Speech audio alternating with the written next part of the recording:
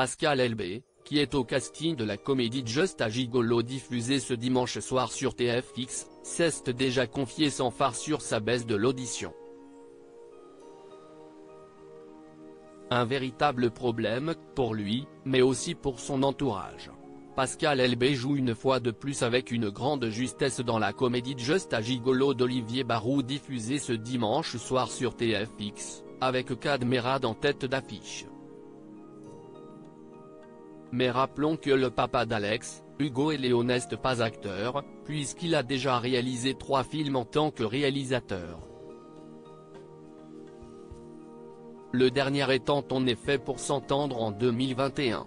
Ce long métrage raconte l'histoire d'Antoine, rôle qu'il incarne lui-même, qui voit ses proches lui reprocher le fait qu'il ne fait pas assez d'efforts pour les écouter. En réalité, le problème est qu'il perd beaucoup d'audition, il est malentendant. Pascal Elbé a vécu lui-même cette situation. Il est en effet atteint de troubles auditifs, chose qu'il a mis beaucoup de temps à comprendre, comme son personnage. J'augmentais le son de la télévision.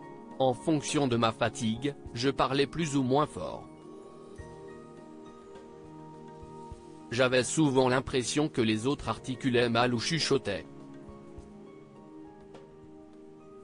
Depuis mon enfance, je m'étais habitué à lire sur les lèvres. Je demandais souvent qu'on répète les propos. Mes proches ne pouvaient plus, confiait-il à Gala en mars 2023.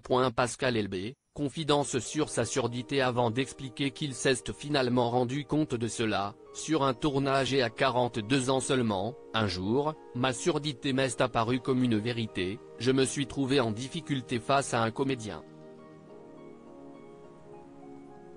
À ce moment-là, deux options se sont présentées, abdiquer et me replier sur moi-même, ou m'accrocher en me faisant appareiller.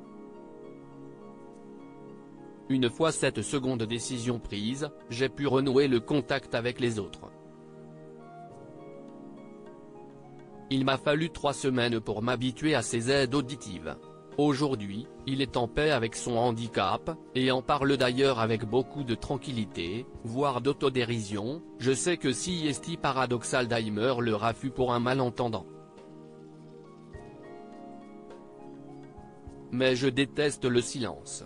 Comme dirait l'écrivain David Lodge, la vie en sourdine est un peu le long silence qui nous attend pour la suite. Le bruit, si y est la vie, et même si si est parfois assourdissant et parasitant, si est ce qui nous ramène à l'autre.